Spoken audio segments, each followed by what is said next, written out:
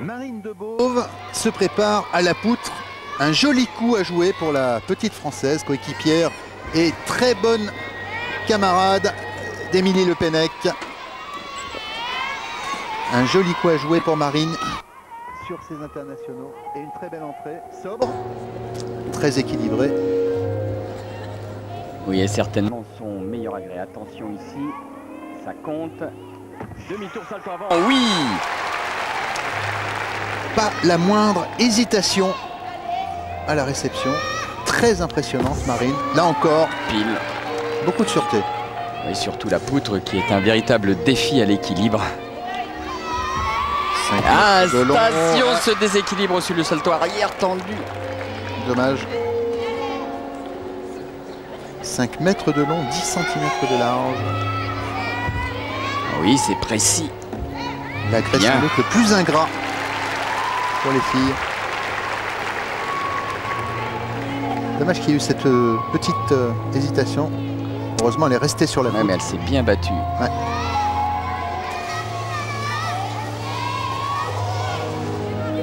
Allez, salto facial, oui.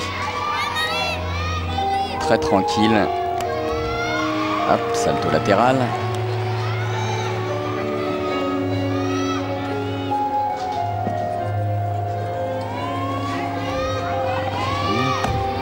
Le saut, salto arrière autant.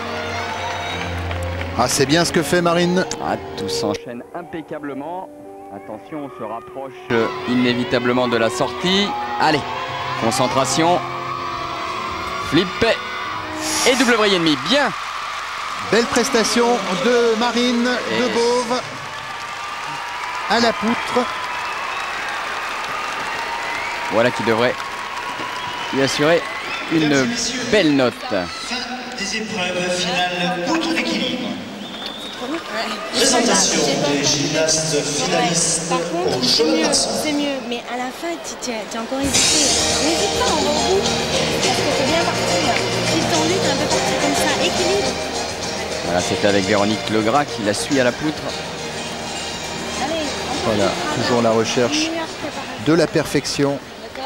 Et on revoit ici l'exercice de Marine de Beauve qui a réussi tout de même une excellente performance ici aux internationaux de France de Paris-Bercy puisqu'elle obtient avec 9 275 la première place du tournoi devant la grecque Stéphanie Bismpikou et l'ukrainienne Olga